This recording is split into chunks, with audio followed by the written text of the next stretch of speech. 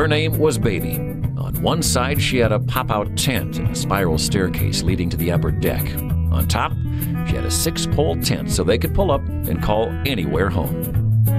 On the other side, they designed a system that could burn literally any type of oil in their regular diesel engine and demonstrate how it worked. They even built a vegetable oil seed press into the vehicle so they could show how plants on the side of the road could be easily turned into usable fuel.